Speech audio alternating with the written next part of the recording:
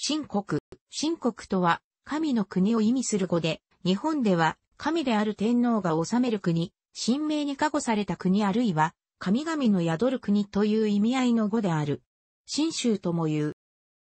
神国とは、アマテラス大臣の末裔である天皇が、現人神として君臨し、万世一系とアマテラス大臣の神直のもとに、永久に統治を行い、これを支え続けてきた皇室と、これに親族した諸神の末裔である、日本国民との緊密な結合とすべての政治は、神事をもって第一とする理念によって、神の加護が永遠に約束される国家を指している。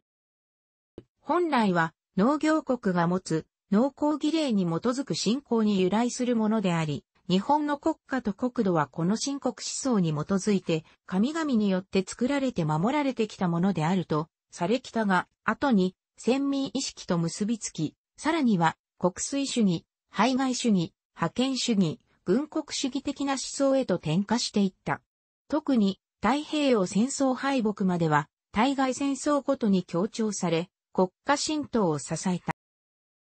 神国という言葉の書出は、神宮皇后の、いわゆる三冠征伐の際、白木王が皇后の軍勢を見て、音に聞く日本の船、あれは、新国の強者だと抵抗せず降伏したという、日本初期の記事である。これが後に、対外的危機の際には必ず引用されて、新国思想を高揚させる一因となったと言われている。仏教伝来直後は、中富の死、物のべしなど神道を崇拝する人々によって唱えられ、茂神への信奉が災いをもたらすとして、仏教排斥を図り、蘇我氏を中心とする数仏派と対立する。しかし、神仏集合の普及以後、神道と仏教との対立は一時的に緩和していった。平安時代以後、律令政治の発展による儀礼の進化とともに、日本三代実録などに見られるようになり、源義経の腰越状にもその行が見える。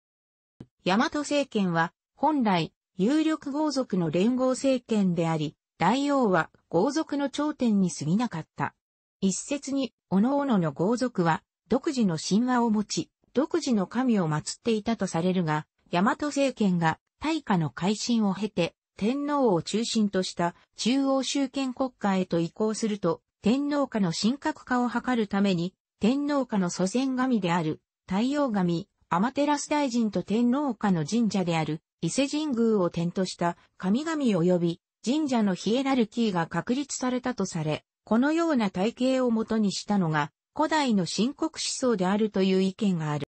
白木と日本との外交関係において、深刻思想が形成されたとする見方もある。公認2年、811年12月の白木族と、また、上岸11年、869年の上岸の入港契機に、日本政府は国防体制を強化する。日本政府は、囚人を要所に、先森として配備することを計画したり、宴会諸軍の警備を固めたほか、内容の白木商人ウルーキヨら30人を逮捕し、放逐することに決め、族といた、海辺の百姓後、6人を称した。その後、白木に捕獲されていた、津島の漁師、浦部をつくそまろが、現地の被害状況を伝えたため、結局太宰府管内のすべての在留白木人をすべて、道の区などに移しく分田を与えて帰化させること、定めた。この時白木は大船を建造しラッパを吹き鳴らして、軍事演習に励んでおり、例えば、津島島を打ち取らんがためなり、870年2月12日上、と答えたという。また、現地の文雄が、白木国の帳を入手し、太宰省に藤原元利万友の内容を告発した。上岸12年、870年2月15日、朝廷は石弓氏や先森の戦士50人を津島に配備する。また、在地から挑発した兵が役に立たないと見た政府は、不習すなわち、律令国家に服属した絵図を配備した。これらの国防法令は演技閣に収められ、以後の外交の先例となった。同時に、伊勢神宮、岩清水八幡宮、貸井、神宮領などに砲兵及び国分を捧げ、と訴えた。こうして、白木を敵視する考えは、新国思想の発展へとつながっていった。また、神宮皇后による三冠征伐説話もたびたび参照されるようになる。上元12年、870年9月、白木人20人のうち、清芝居、鳥政、南牧、安長、全連の5人を武蔵国に、総高笠、三味伝宗、石海、元政、牧祭の5人を、上総国に、純清、葛西、関山、長園、最長、真平、長清、大有、梅鎮、恋愛の10人を陸奥国に配する。また、上岸14年から19年にかけて編纂された上岸儀式追なぎ、追なの儀では、道の区国伊東、五島列島異性、土佐国以南、佐渡国以北は、汚れた、駅機の住処と明記されている。こうして、対白木関係が悪化すると、新国思想とともに、天皇の支配する領域の外は、汚れの場所とする王道民思想が形成された。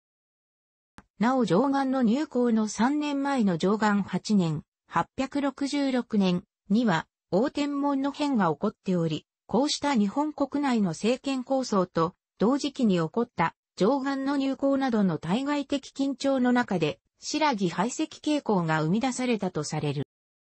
10世紀以降、律令体制から王朝国家体制に移行すると、貴族や自社が荘園を拡大し始めた。有力な自社は、自分たちが祀る神々こそ、日本の神の頂点であると宣言し、冬、不入の権を行使し、自分たちの荘園を、神領や仏領としていった。その結果、天皇家を中心とした神々及び、神社のヒエラルキーは衰退していった。また、平安時代前期から、この時期には、神仏集合思想が普及し、フッツが日本の国土において人々を救うために神々の姿をとったという本自衰弱説が説かれた。このような社会、思想の変動によって天皇の権威を頂点にした古代的深刻思想は本自衰弱説をもとにした中世的深刻思想へと移行、変化していった。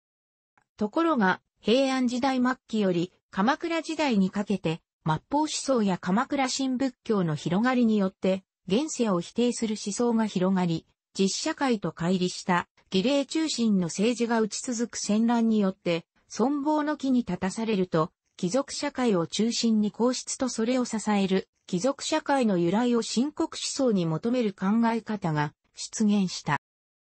さらにこれに一大変革を与えた事件は、元による二度にわたる原稿である。この時の嵐が伊勢神宮をはじめとする諸神社によって盛んに行われた異的長福の祈祷と成果と懸伝され、日本を新国とする認識を国内各層に浸透させることとなった。このため、浄土思想、鎌倉新仏教側もこれを取り入れていく方向に変化していき、神々は仏に従属するとした仏教の超越性を唱えていた、法華宗を含めて日本の仏教は神々の加護によって初めて成立しており、末法の世を救う教えも日本が深刻であるからこそ成立したという主張に転換していくことになる。古漢試練の現行釈書の大乗仏教は日本において完成したという主張は、その典型である。南朝の北畠近房は、人王政党期において、大日本は新国である都市、近房は、アマテラス大臣の正当な末裔である天皇によって、日本という国家が維持されているという主張を簡潔に述べ、後世に影響を与えた。中世以降の紛争の激化や、社会の流動化の中、法の下での平和を実現する統一権力が求められた。こうした情勢において、本自衰弱説、神仏集合に基づいた中世的深刻思想は、人々に正しい道を教える道徳的、超越的権威としてのテントを説いた、儒教的なテント思想の影響を受けたものへと変化していった。戦国時代においては、このような考えに基づき地上に平和をもたらす者が、国主の資格を持つ者であるとみなされるようになった。戦国大名は、自らを神仏になぞらえるなど、新国思想を両国統治のイデオロギーとしたのである。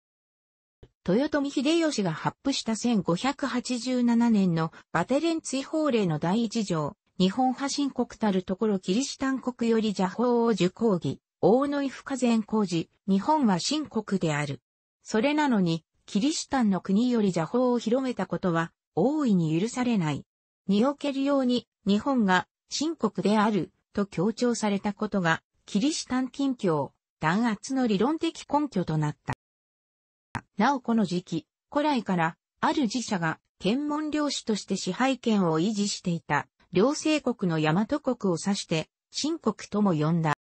江戸時代には、儒教や仏教などの外来思想に批判的な立場から、古典や神道を研究する国学が盛んになり、加の東丸、鴨の間淵、元織乗りながらの研究を経て、平田厚種によって復古神道が確立されると、従来の神仏集合的な深刻思想から仏教、儒教的要素を廃し、古代へ回帰した深刻思想が広く受け入れられるようになった。しかし、それが、幕末の黒船来航などの外的圧力の増大と、共に上位論へと発展し、尊皇上位運動が展開されて、やがて江戸幕府滅亡へとつながった。明治維新後は、神道の国境化は断念され、大日本帝国憲法に、信教の自由が記載されたが、すべての権利、自由に、法律の定める範囲で、市民の義務に背かない限りという留保がなされ、さらに政府は、神道は宗教ではなく、神道非宗教説、国家の祭祀であり、市民に義務があるとして国民に強制した国家神道。これは国家を支える理念的思想となるとともに、王家、近代化路線に対抗する国粋主義と結びつき、日本の帝国主義、軍国主義路線の膨張、派遣主義による植民地の拡大とともに、国内外の非氏古民衆を抑圧する思想へと転化して行った。日露戦争勝利後、日中戦争、太平洋戦争でその動きは最高潮に達し、ミッドウェー海戦で大敗してからも、新州不滅の主張のもとに玉砕、神風特攻隊、本土決戦論などの、新民すべて滅びようとも天皇一族とその神たる、証の三種の神器だけは、厳然と残らねば、残されねばならない。そして最後には日本が勝つのだという思想が横行し、多くの生命が失われた。大戦末期、たとえ敗北が目に見えても、民衆の中には、いずれ神風が吹いて、敵艦隊をまとめて沈めてくれると、本気で考えていた者が多くいたという。ポツダム宣言、第4.69条と日本の幸福文書に基づき、戦後に日本国憲法が制定され、政治の場から新国思想を排除するために、政教分離原則の厳格化と信教の自由の導入が行われ、日本社会の表舞台から新国思想は追尾した。しかし、網野義彦は、神武天皇の即位日を建国記念日、建国記念の日に選び、そういった虚構を無視したまま国旗、国家法が成立したとして、戦前の日の丸と君が代男となるものではないと主張した。また2000年5月15日、森喜朗首相による日本は天皇を中心とした神の国発言が報道され、問題となった神の国発言。また、現在において、韓国におけるダンクン神話の歴史教育は、戦前の日本と同じ排外思想や過度のナショナリズムにつながっており、深刻的思想は日本だけにとどまっていない。楽しくご覧になりましたら、購読と良いです。クリックしてください。